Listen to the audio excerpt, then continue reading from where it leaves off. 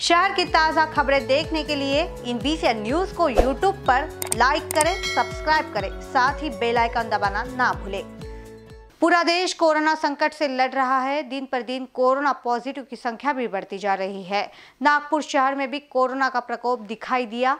ऐसे में महाराष्ट्र के पूर्व मुख्यमंत्री फडणवीस ने गुरुवार को शहर के मेडिकल अस्पताल को भेंट दी। इस अस्पताल में कोरोना मरीजों पर इलाज चल रहा है। फडणवीस ने अस्पताल के अधिष्ठा और निरीक्षक से चर्चा की और जानकारी ली। इसके बाद उन्होंने अस्पताल में दाखिल कुछ पॉजिटिव पेशेंट से फ़ोन पर बात की है।